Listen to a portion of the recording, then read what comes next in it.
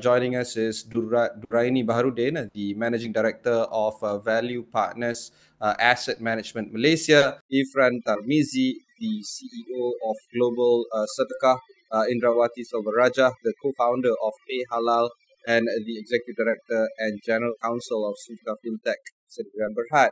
Um, thank you, panel, for taking the time to uh, join us uh, for this conversation very late in the afternoon. Start with uh, uh, Nuraini. Um, I can't help myself. I have to make some mention. Uh, yesterday, Value Partners uh, uh, launched or listed uh, their ETF, uh, Sharia uh, 100 uh, China A shares ETF. Um, and of course, I've been looking at the prices. Uh, it's quite quite interesting. Uh, but this is the thing that I want to touch about uh, in this uh, session, because as we explore uh, the opportunities and the potential of the Islamic finance industry, um, one question that needs to be asked is, of course, whether or not product innovation uh, come in handy uh, and become a little bit of a safety net for the industry. Uh, Duran, maybe you can share some ideas on this. Definitely. Thank you, Ibrahim Sani. Uh, good afternoon and Assalamualaikum to all. Thank you for having me on this session today. So yeah, when it comes to product innovation, I think that is definitely uh, the function of it, right? Innovating products, be it investment products or uh, financial instruments, are all in the interest of ensuring uh, that uh, the industry will continue to evolve at a very safe or, or competitive uh, environment. For instance, uh, back in the days, we only have things that we call unit trust. That is what most uh, investors in Malaysia are familiar with. Uh, unit trust products that uh, focuses on Islamic products or ESG or even single market uh, funds. Now, how it has evolved over time is that eventually we have other products that comes in to, to supplement the availability of these products in the industry and therefore makes the landscape more competitive. Now, the question is who does that benefit? Does it benefit issuers or does it benefit uh, investors? Naturally, you will see that there will be adjustment to, to pricing fees. And who does that benefit in the end of the day? It actually benefits investors. Now, what this also does is that it's not just looking at it from a fee or revenue driving perspective, it's also driving agenda. So, about 10 years ago, you probably don't hear much about Sharia compliant investments, or more than 10 years ago, you don't hear much about Sharia compliant investments in the market.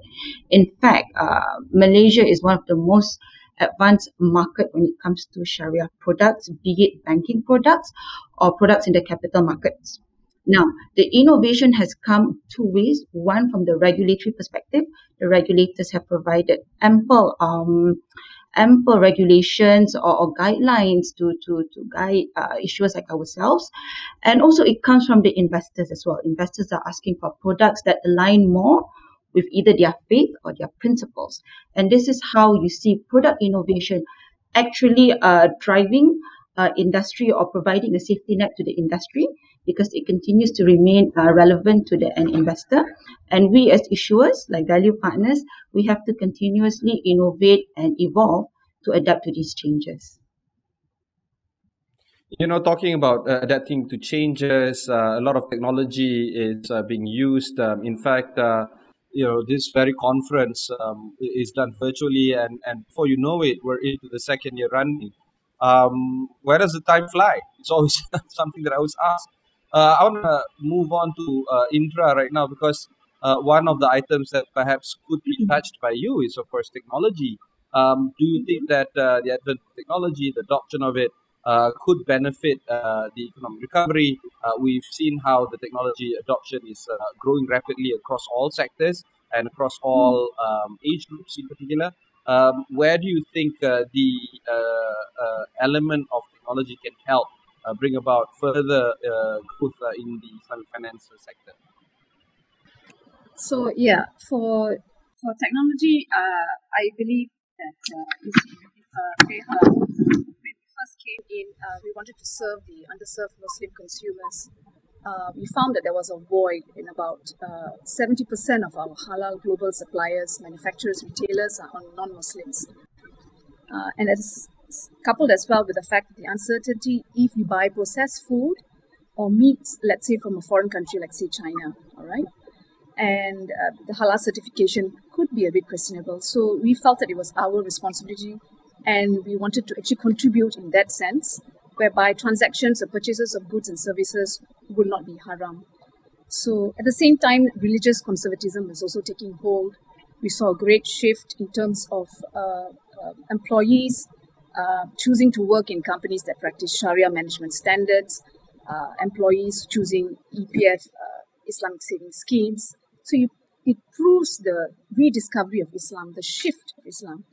So that's where Pay Halal came in, all right? And at the same time, we addressed three issues, all right? Um, so Pay Halal had first started as a payment gateway. Now we are generally an Islamic e-commerce payment uh, program here. So we address three main issues, which were which is uh, riba, gharar, and we make sure that the transactions are not haram, right? So let's say a consumer buys goods, all right, from cross border. So Pay Halal will be able to verify the consumer goods because we have aggregated the database from 43 countries here. So, uh, for instance, if you buy, let's say, a pack of Milo from Australia, we verify the goods by the brand, the format, the weight, the manufacturer, and the certification expiry date. So, if you pay through Pay Halal, you will get what you purchase for, which is halal. And another way where we can update our uh, halal database is when we onboard um, merchants. So in Pay Halal, we believe our contribution would be in the Islamic payment space uh, because every fintech and bank has an Islamic instrument from Islamic bank account uh, to debit cards, debit uh, and credit cards. So we saw the gap in the Islamic merchant acquiring and payment processing space. So our we have a very special uh, transaction in akad. It's called a wakala by al ujra. All right. So when the sale is done, it is done according to Islamic principles. All right. Uh, so we hold the uh, hold transactions in escrow. Right?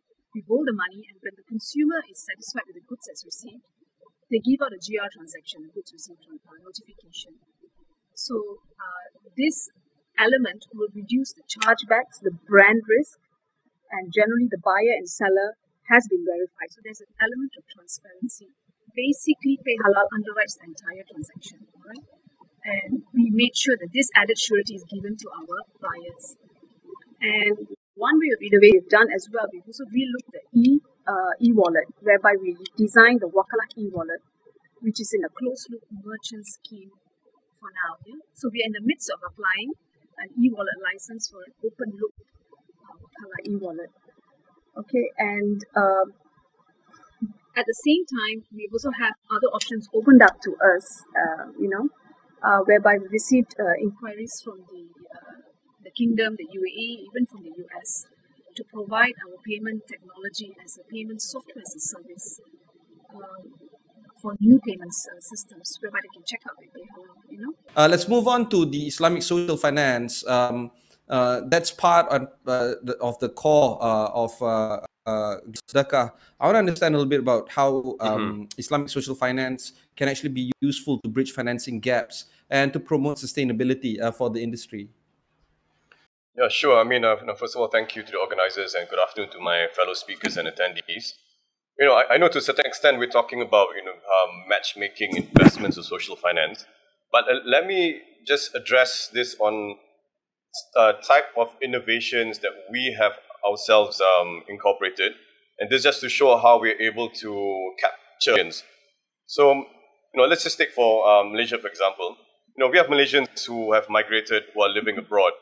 And these people, uh, despite, you know, uh, their current locations, they, for example, if they don't have access to um, any of their local credit cards or bank accounts, they still want to support Malaysians, especially in this current pandemic, right? So I've got a true story, for example, where a friend lives in the UK for so many years, and he wants to pay zakat to one of the state bodies here. But unfortunately, he's holding a UK credit card, so he ends up paying to an NGO based there. So, you know, alhamdulillah, uh, we are able to bridge that gap for the time being because we have allowed multiple uh, international currencies.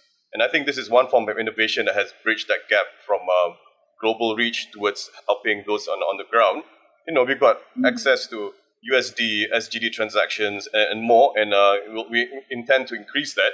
And uh, one thing that's quite unique, I would say, the innovation specific to uh, our space, we, you know, have this under tap potential, which I, I, know there's still an ongoing uh, discussion in regard to the whole digital assets being cryptocurrencies. You know, but we have enabled this as a form of donations since 20, uh, the year 2020. And you, we have seen that from this community, you know, I mean, back in those days when the, the value of uh, such coins were much higher, an individual will come in, donate 0.15 for Bitcoin, and he will fully fund a campaign towards a social finance cause. And can you imagine the, the potential of that? And that's just a, a handful that we have tapped into so far. You know, and we have you know gone ahead and launched a campaign, for example, to build a masjid just purely on cryptos. So I'm just emphasizing there's a lot of opportunities out there, and I'm just focusing now on the tech innovations that is bridging the gap towards uh, social finance in, in, in, our space. Uh, uh, I don't the other aspects, but maybe I'll, I'll throw it back to you, Ibrahim. Those are those are extremely crucial uh, that needs to be done, um, which throws me back to the first item that uh, Rani was uh, talking about. Uh, sometimes uh, the market mm-hmm. uh, might not be able to wait. Uh, there is a pent up demand for some of the products, but the developers, manufacturers, people like yourselves, um, product, product um, makers are trying to bridge that solution to the market. do you think that um, the pandemic is actually slowing down uh, these kind of items uh, being rolled out, or do you feel that it has little to no change, uh, Duraini? Um, I think actually what's interesting about the pandemic is that uh, back to what uh, was mentioned just now is that uh, a lot of things are moved onto the digital platform, right? And the digital platform is actually faster than what you see in the non-digital platform or in the manual platform, which means that actually a lot of businesses are moving faster because of COVID-19. I'm not discounting that there has been victims of COVID-19, but definitely the digital platform has allowed for um, uh, COVID 19 to be a bit more manageable in terms of businesses, investments, and even transactions for that matter. Now, I think what I would like to bring back here is that, uh, for instance, what we're talking about, I mean, you mentioned just now, Ibrahim Sani, about our uh, ETF yesterday that was uh, listed on the Bursa Stock Exchange, and we're very honored to be here at the same time. Is that what is the function of this ETF? Right at a time when savings are depleting, we're talking about for Malaysians, you talk about EPF withdrawals for i-Sinar and so forth, and there's very limited savings for the longer term. So how exactly can issuers like ourselves or platforms or digital platforms like those uh, by, by Global Sadaqah and also PayHalal uh, facilitate, right? For instance, with our ETF, the objective is to make investments, which is largely for your own savings, uh, accessible and cheaper. We are cutting out the middleman or i.e. the fees that is attributed to the agency which is normally a more human relationship touch. And because of the digital platform we're able to convey all this information and message online digitally. And how does that benefit everyone? Number one things are getting cheaper and you can focus your attention and your capital on things that really matter. For instance your savings. Number two your sedekah your zakat. Those are very important parts of of being a human being, right? And then when we relate this all back to the core or one of the concepts of this uh, uh, session today, which is ESG, I think earlier Tan Sri Wahid mentioned about the, the connection between ESG and, and also Sharia. What exactly are the common traits? Is actually the, the avoidance of harm. And avoidance of harm is not just physical harm, it's harm in every aspect in terms of livelihood, social, in terms of governance, pollution, and all of that. So this all brings it all back in because the digital age or the digital access allows for reduction in harm over um, excessive fees that has been charged in the past because we had a lot of intermediaries.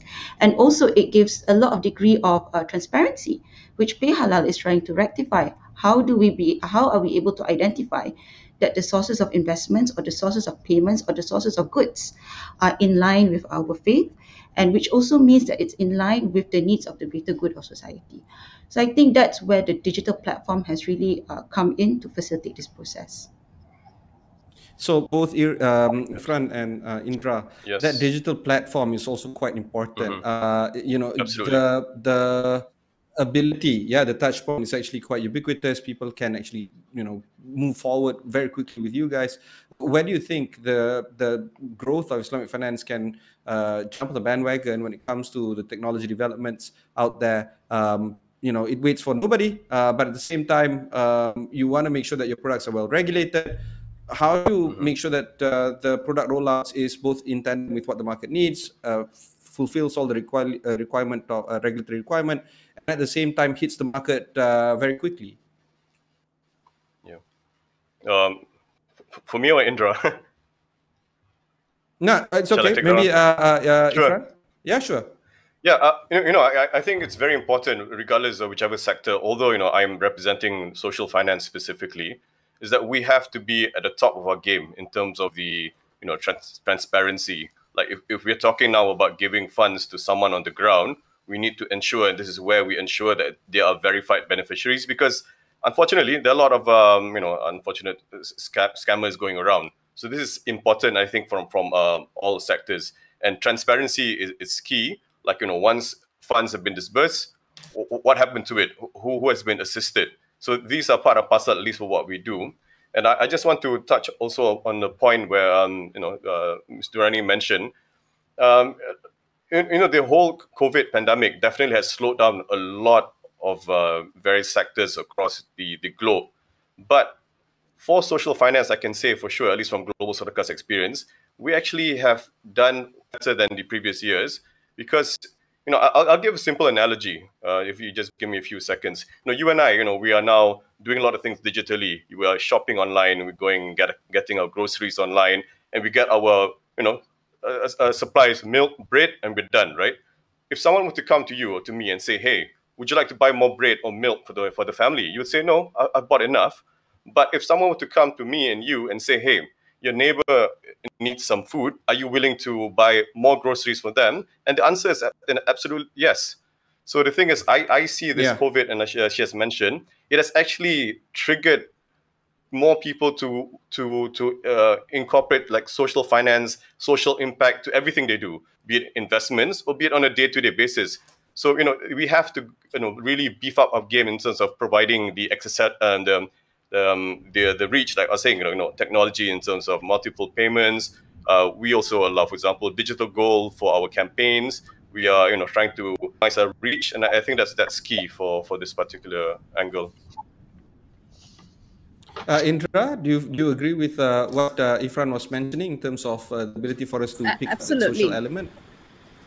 Yeah. Uh, to me, the pandemic was actually an accelerator in terms of uh, e-commerce and contactless payment.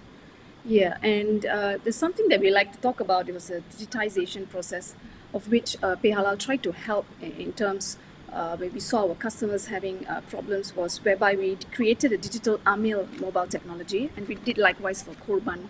If I can just emphasize a little bit of those elements, which could help and assist. So in this area, we felt that technology was really an enabler. You know, it sort of assisted the, the position that we were in, whereby we uh, we created a digital Amil uh, mobile technology that uh, allows zakat to be paid uh, via QR and social media payments. So the issuer, like say a payer, will be given a reminder. You can get a receipt also from your PPZ MAIWP and from my. So the, these are little little things that uh, we felt that could assist uh, for institutions that collect like MAIWP and PPZ. Another thing that we also got into was during the Korban season, the recent Korban season. Again, you know, with the pandemic, or, although people were free to move, but uh, there was still a lot of restraint in, in terms of uh, being in contact with other people. So we had a very, uh, this is real life uh, as well. Uh, a, we had a very uh, enterprising um, lady from uh, Kluang, Johor, by the name of Cattle Queen Ranch. She has about 4,000, 5,000 cattle.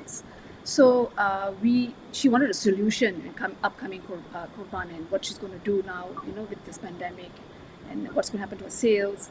And so we created uh, for her and for others as well a Kurban payment with digital uh, digital akad.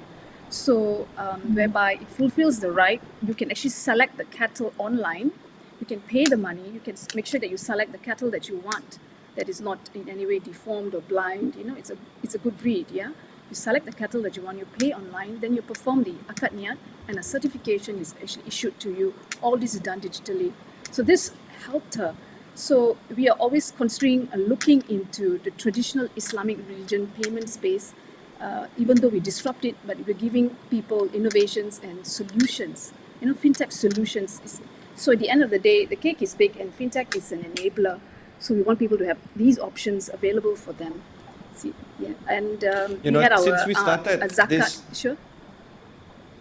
Yeah, since we started this panel inadvertently, we've been talking about consumer, we've been talking about retail, um, and of course, there's a lot of opportunities when it comes to not only Islamic finance industry, when it comes to consumer and retail. Uh, you know, generally speaking, there's a lot of options for us to actually think about when it comes to consumers and retail. Uh, but maybe uh, we should perhaps even touch about the opportunities uh, of finance um, amongst corporates, um, governments. Uh, perhaps that will be an idea that we can also touch on in this panel. Maybe, uh, you got some ideas on this? Um, yes, so we, I think this is a key message that was driven not just by uh, Tan Sri Wahid earlier, but also by the previous panel, right, about asset owners or cap- uh, those in control of capital in directing the capital in the right direction.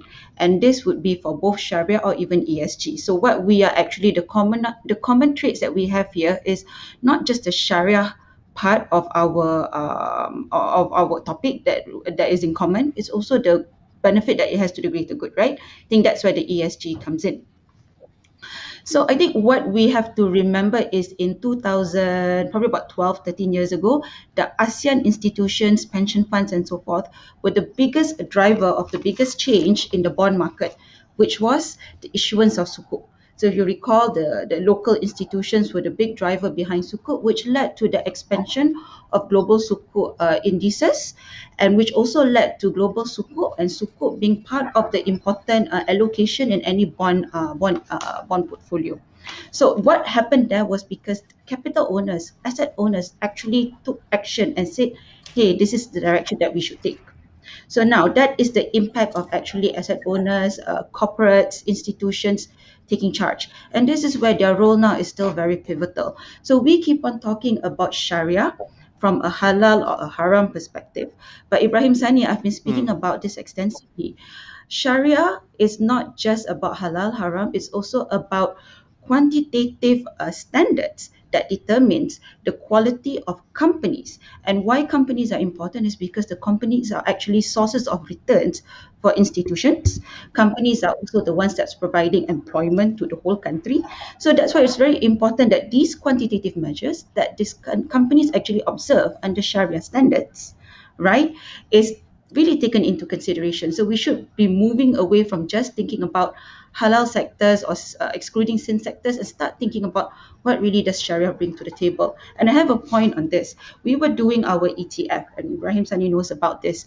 We keep on stressing that the standards of Sharia testing that we adopt is the international standard. And essentially, what it does, it monitors the debt and also the cash level of companies that we invest in. Now, it's just like any other normal individual. If your debt levels and your cash levels are well managed, that shows that you're a responsible individual. It translates the same to a company. And when a company manages this well, that's where the quality increases, margins can be maintained, employment can be maintained, and resources can be deployed to, to, to focusing on the part of the business that will be sustainable for the company and also for returns in the longer term. So all of these different um, factors come into play, and I think we should start thinking that no longer Sharia is just about the halal or the haram. It really is about the quality and the quantitative uh, layers that provides like a guideline for corporates and how they operate. And this is what I think the local pension funds and even the regional pension funds have been pushing for the past 13 years. And moving forward, they should continue doing that, incorporating the bigger agenda which is ESG, which again, Tan Sri Wahid mentioned, is about the common good, about avoiding harm, right? Uh, environmental, social, and governance as well. The pandemic has really shown something that uh, is quite uh, stressful, that corporates were not ready. So even if we were Sharia compliant in our practices or based on the quantitative measures, were we were we were we ready to actually tackle the pandemic and and and and, and you know and what does it do to the society as a whole? So I think that's uh, probably yeah. what, uh, yeah.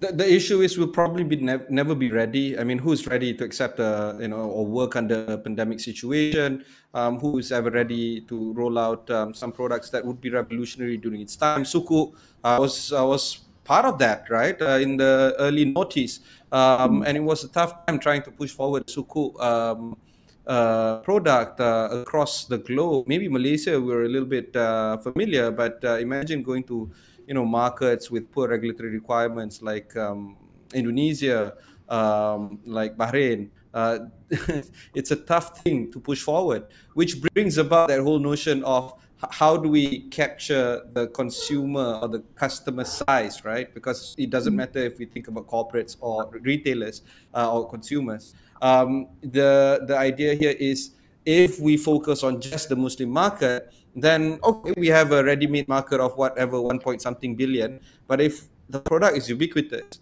and the product can be used by everyone, and that we are not just selling on the halal haram element, but more of the QC element, that would mm-hmm. reach far greater implications. Maybe Ifran, you can help me on this one. Uh, do you think that that kind of uh, ubiquitous kind of element would help uh, push forward for social finance? Uh, doesn't matter whether or not it's Islamic or not, just social yeah, finance yeah, uh, at large. Absolutely. I mean, call it whatever you want. You want to call it like a Qard Hasan, you want to call it interest-free loan or something. But you know, the bottom line is, at least I can give an example entrepreneurs now are not able to access like conventional type of financing. I'm not saying like conventional Islamic versus like financing for their businesses. Yeah. And for, for me, tra- there shouldn't be way. any sort of like traditional, yeah, that better term there. So the, the thing is, uh, you know, we've got um, a campaign which we just launched um, where it's a very straightforward um, uh, idea and it doesn't have to be uh, restricted to any uh, particular race, religion. It's just we are matchmaking funds towards a Qard Hasan. Call it interest-free loan if you want. We are matchmaking these individuals to ready manufacturer products, and they are using it as a capital to become an agent for this product, and they will eventually, you know, build up their their income, and they will repay. And once they repay the interest-free loan, it helps the next group of people, and it will just continue and continue, continue. And I think no one would say that's a bad idea. I think they will agree this is actually a good idea, and it, it benefits all. So I, I think you know, connecting that to you know get, getting more support uh, I, I don't foresee a lot of corporate institutions willing to go down the route of like offering Qard Hasan because you know there's no profit element and such but for those who are already giving out one-off like um, CSR funds or whatever funds try to consider like these kind of um, um, instruments where your impact could be even triple quadruple five times just from the same initial amount and uh, as you, you said, Ibrahim, these kind of things, it's, it's not specific to any particular group. It serves the, the nation and, of course, you know, the, the bigger globe if you expand this idea out. And uh, I mean, if you don't mind me adding to uh, that. Yeah. Yeah, yeah. No, because, um, you know, there are many uh, areas where we can garner support for long-term multi-generational benefits. We want to call it wakaf, fine. But if I want to build a well in a rural area where they, they have to walk two kilometers to get water, nobody is going to say no to that. Everyone can benefit, even an, an ant can benefit from the water, even animals can can can benefit. So these kind of things, you know, we, we have to um, really expand the reach by saying, you know, this is a well, this is the sea ambulance. People on this island get medical help if they don't get this boat to, to transport them. Contribute to this boat, call it the sea ambulance. You don't have to call it wakaf, or whatever you want to call it we have like you know building an lpg equivalent of petrol station this is going to sustain the income of the community so they don't depend on hands uh, handouts anymore. You're right. Universal will, will definitely uh, bridge the gap. Uh, uh, that's a very important point to add actually um, ifran. Uh, but you, you know indra same question to you but you're, you're in a, a little bit more interesting position because you know what what how ubiquitous can you get if you think about payment solutions um, uh, and and fintech? My worry is that uh, this is i don't know how how blue ocean this situation is the industry that you're operating in. And then you have big incumbents you know. I, I don't know mastercard visa something like that. They're also rolling out um, uh, sharia products do you think that uh, you know a, a, company like Pay Halal can can actually conquer that kind of uh, space, particularly when it comes to the product services that you can roll out? It's actually quite universal; anybody can use it actually wanted to say something on what uh, Irfan said, but never mind. He's already covered it, which was really great on Qard Yeah, I, think I, I, I, apologize for yeah. stealing, stealing your thoughts. no, no, no. It's great because I thought that uh, uh, uh, we were working on we were pla- we were working on a Qard Hasan crowdfunding platform for women entrepreneurs because we found a, a gap. I mean, it's a coincidence. Yeah. Yep, yep. Yeah, th- that's You know, coincidence. platform. Our, So our it's first completely- campaign is uh, yeah, it's a woman entrepreneur by the name of Azura. Uh, you can see it on our website, and we're helping her to Yeah. brilliant stuff. Brilliant. stuff. Looking forward to seeing that too. Yeah, yeah, yeah. We're looking Okay. forward as well. Then the next to question is. take off. All right. The next question is uh, a bit tied to what Taufik uh, uh, Iskandar was mentioning earlier. I find it very uh, interesting uh, that uh, he's putting it out there uh, as as plain as it is. We all want to make money. Uh, we are all capitalist in nature. Um, and while we want to exhibit uh, or extol some ideas of uh, charity and uh, I think of finance maybe as one element of it, but at the end of the day, we want to earn not just for ourselves, or because we are custodians of the entities that we are running, and all of this is actually profit making. How do you balance in terms of trying to capture the opportunities within Islamic finance while trying to manage that whole profit element uh, and and not profiteering at the end of the day? Um, it's I don't know whether anybody any of my panel wants to take up this question, but uh, feel free. Uh, anybody, just put up your hand and we'll uh, pass it to you. Can, I- can I give an example? Oh, sorry. Go ahead. Go ahead, Bernie. Sorry. Go ahead. Uh, okay, Raini Okay, first, sure. Dura. Um, so yeah, balancing is very interesting, right? Uh, we, we, we talk about uh, financial returns versus uh, the more subjective returns, right? So actually, if you look at um, the articles of association or memorandum of association, most of the companies in Malaysia, their targets are mainly profit driven. They do not talk about ESG. All these concepts, new concepts that we talk about now, is does not exist. Now, what I think we need to be fair about is the fact that this is actually a constant evolution.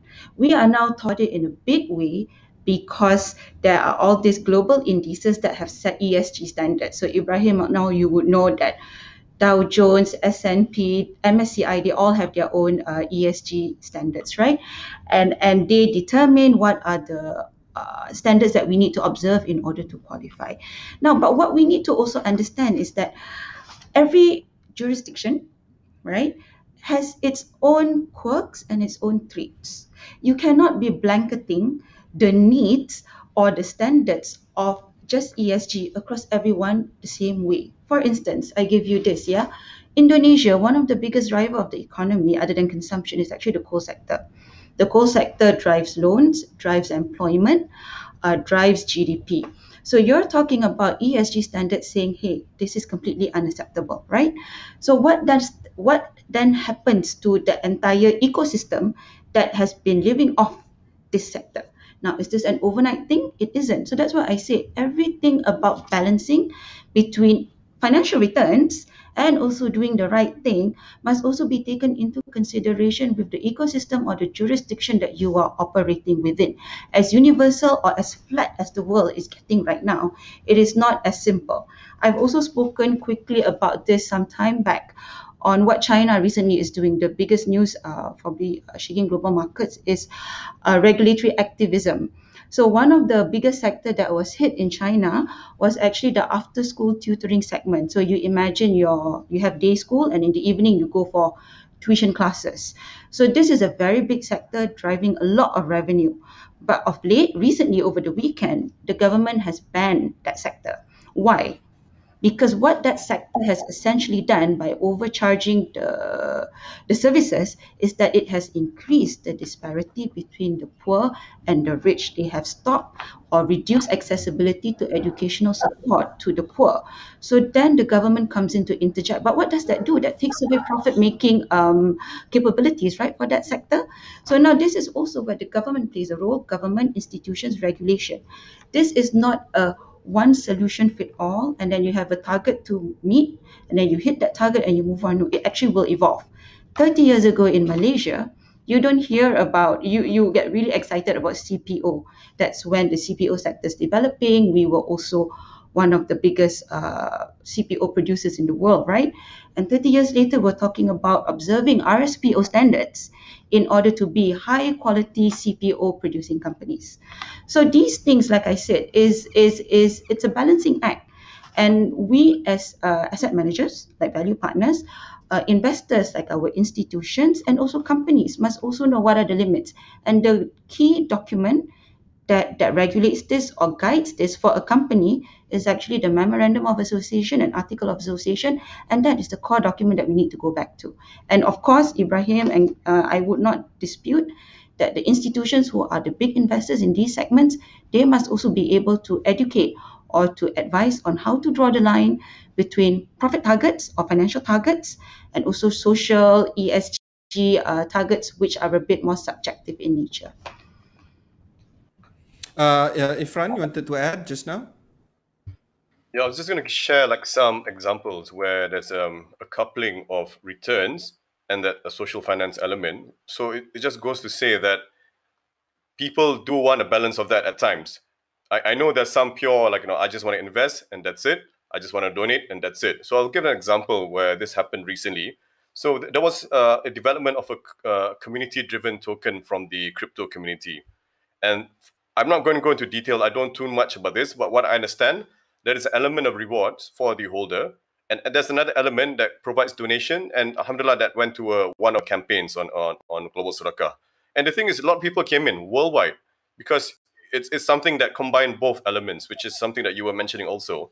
And um, although I, I'm more representing Global Sadaqah today, if you are uh, aware, I'm, you know we're part of a bigger group where there are investment platforms also and it's always been part of the group um, DNA, like you know, our, um, our various uh, other parts of the world, where you know, even though there is some profit element to the investments, there's always a social impact element in that actual uh, uh, issuance. For example, you know, be it a a P2P uh, issuance providing social social housing in Indonesia, and um, I do have something that is more of a preview or something that we are working on, but I, am not going to reveal too much, but it's pretty much tying up investments towards underdeveloped, be it government or, or Wakaf land. And I think that's something that would attract people when you have some element of returns, but there's also a bigger social impact. So I, I agree. We don't have to always separate it all the time. Yeah. Thank you. Yeah. Uh, uh, sorry, I think I have to uh, uh, still keep on uh, Ifran because um, there are two questions. Uh, okay. I think both are quite quite pointedly directed to you actually. First is of course, okay. how would you encourage uh, funder to fund Qard Hasan given no profit uh, is involved? What would be some of the biggest challenge to roll out uh, this uh, in in scale? Understood.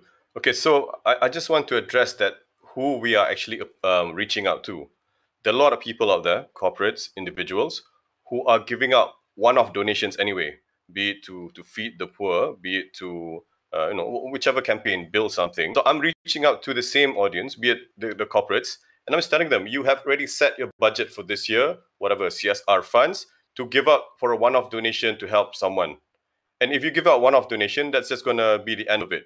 But consider for this particular same set of funds that you intended to give out anyway, without expecting anything in return, channel it towards a Qard Hassan campaign, uh, for example, ours, and the Qard Hassan element will happen after that. It, it doesn't come back to the initial because the person is going to give it away as a donation anyway.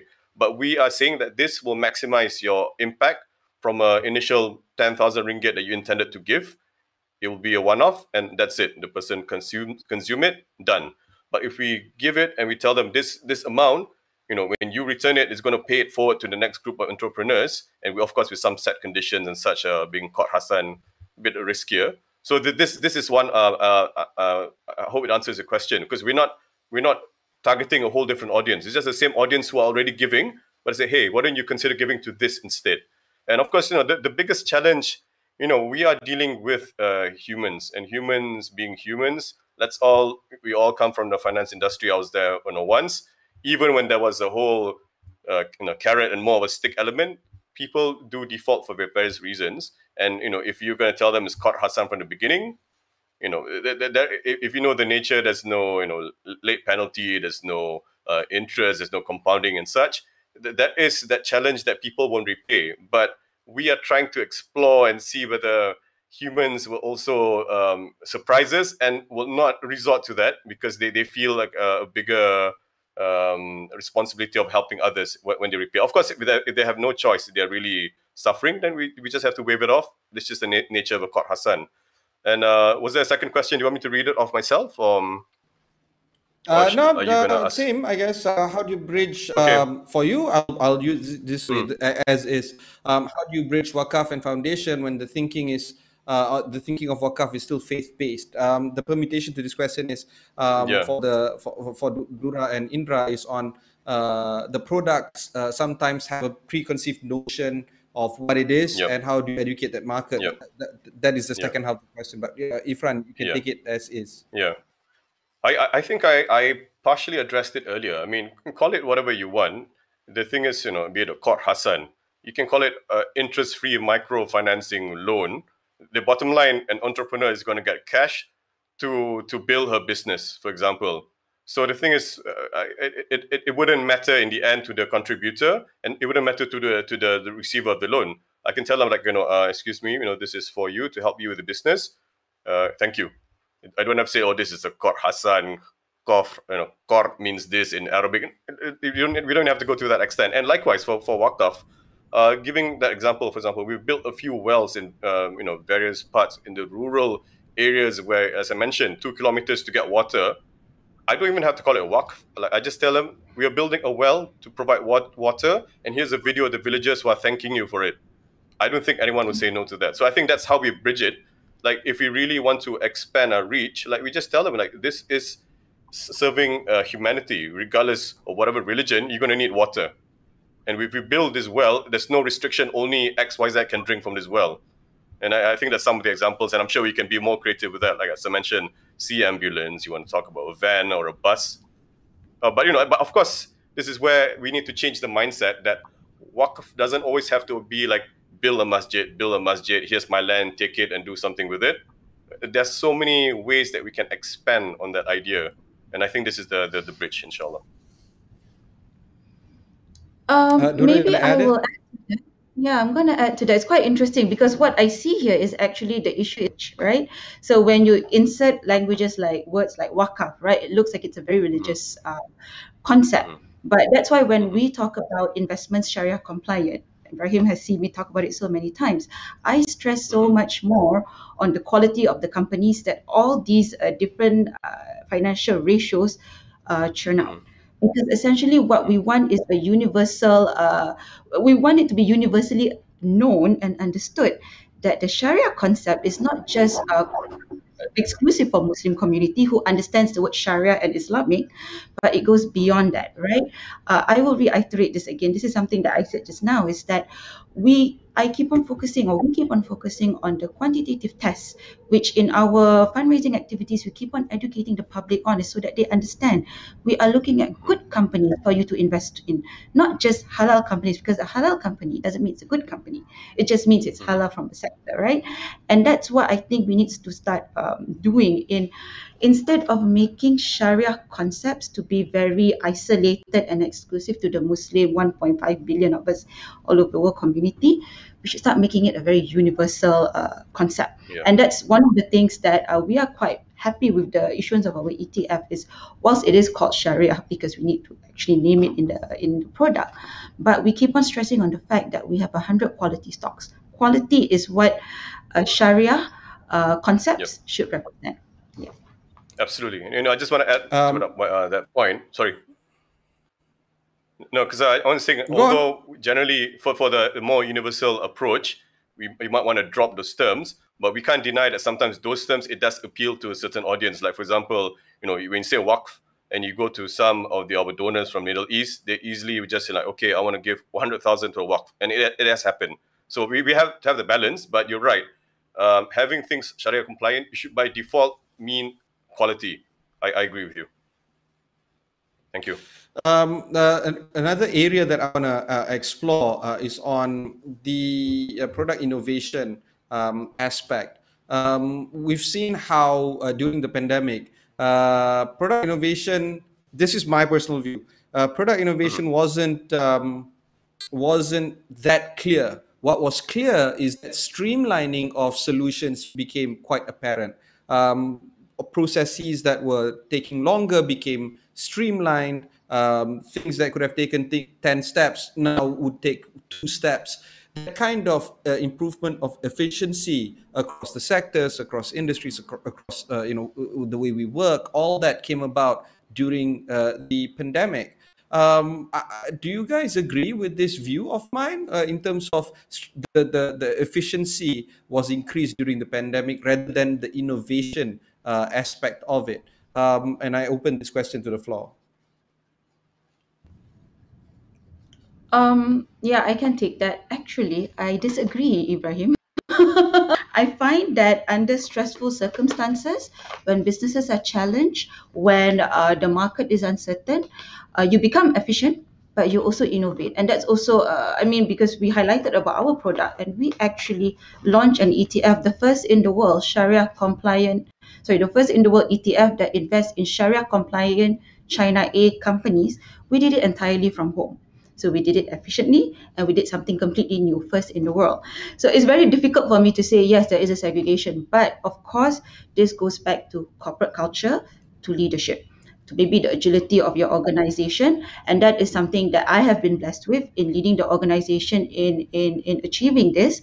But yes, there is a bit of, um, I think, disruption to innovation not in terms of the product, but people are more innovating in the means of accessing consumers. So before MCO 2020, we didn't have or extensively use things like BIP, you know, and the payment on Grab was a bit different. And now it is becoming a bit more of an important mechanism or intermediary.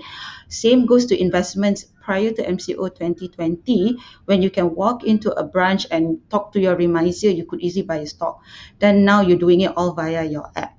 So maybe innovation of product is not there, but innovation of processes is actually still ongoing and probably that's what Indra and also Ifran can can explain more on.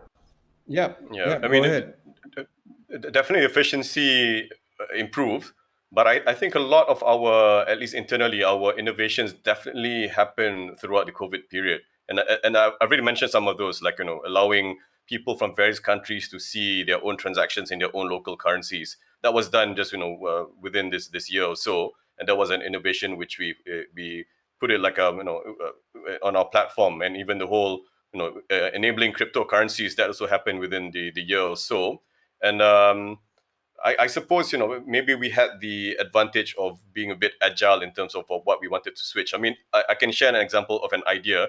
It's not a, a big idea, but it, it, really made a difference for some. Going back to my analogy of like you know gro- grocery shopping and such. Likewise, some sometimes people reach a stage where I've donated enough. I've already donated enough for this uh, this well, for example. So overnight, one of the advisors just asked us, can we have a function where people can dedicate their donations to someone else? And we said, yeah, and it would just develop overnight, like a switch of a finger, uh, like a, of a, a flip. So literally the following day, people who had already said, I've donated enough myself, but now they can't say no to like, I want to donate to Ibrahim that now you have a share in this wealth, which I've already had enough myself. And it came as a nice, pleasant gift. Dear Ibrahim at, at whatever gmail.com. Ifran has donated X amount to this well. And that happened overnight for us.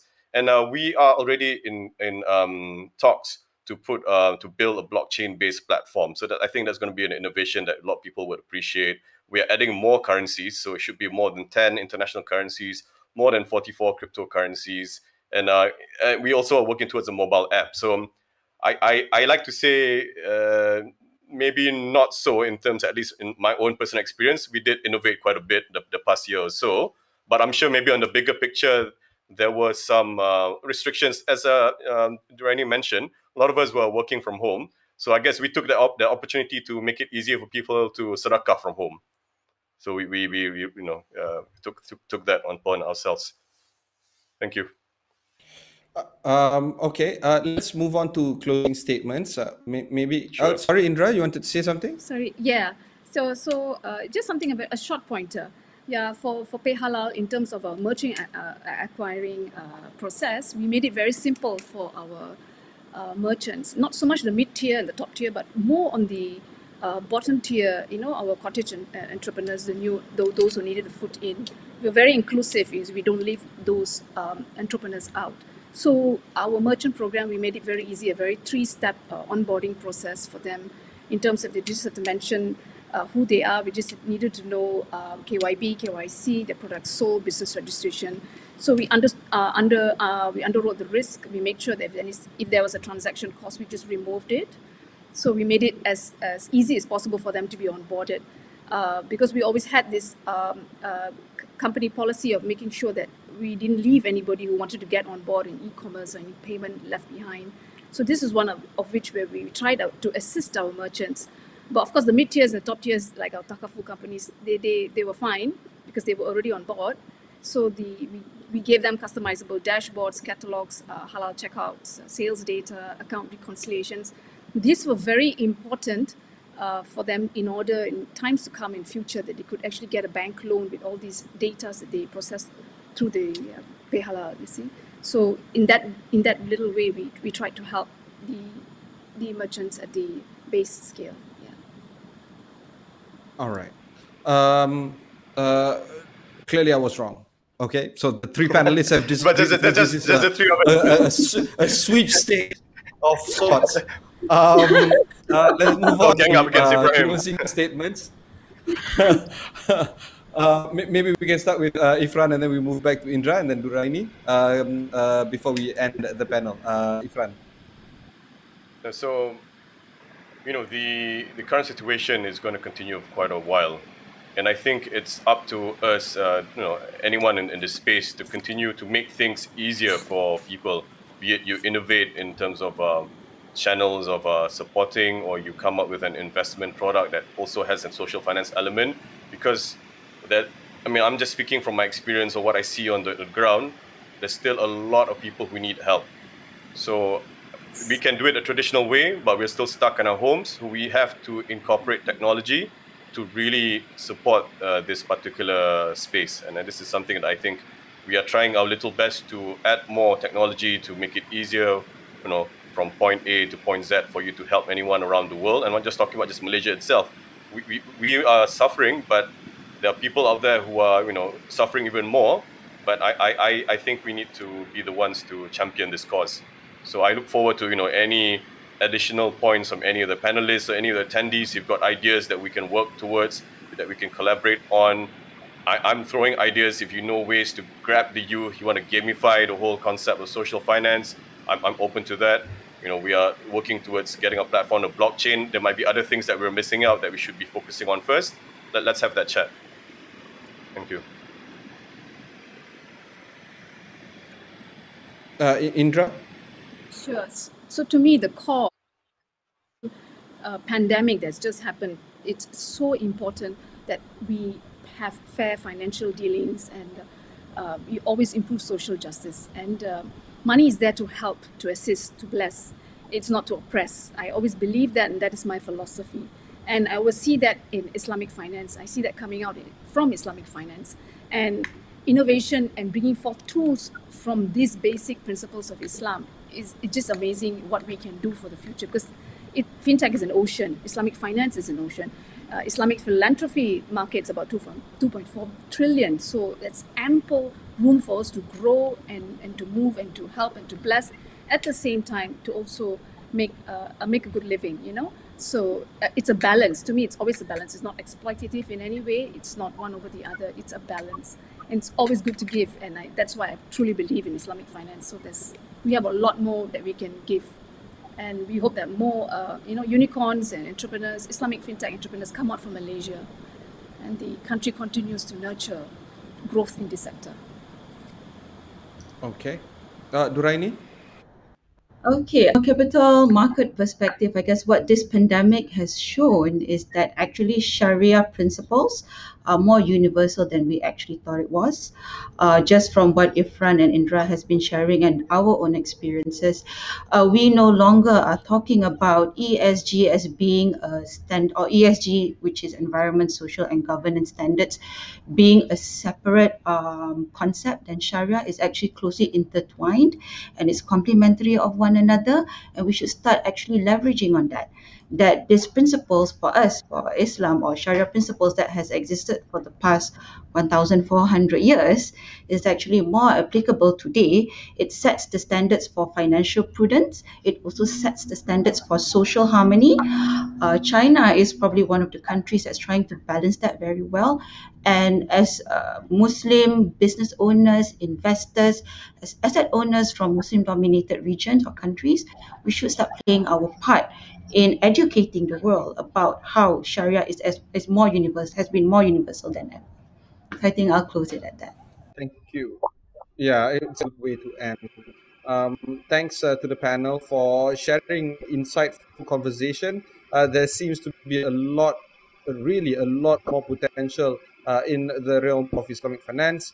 Uh, we now have to end this panel to uh, move on with session, which is to talk about the market outlook for the second half of this year.